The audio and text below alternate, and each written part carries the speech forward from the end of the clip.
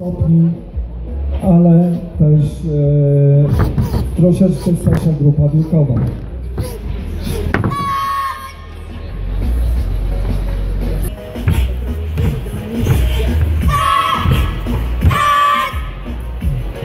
W.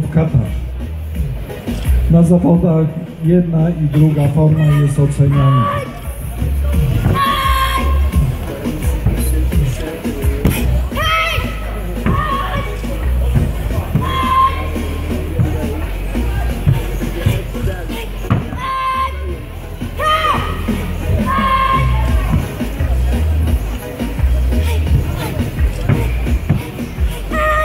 Wszystkie te ruchy, które są wykonywane, wymagają dużej koordynacji ruchowej, ale poprzez trening tą koordynację się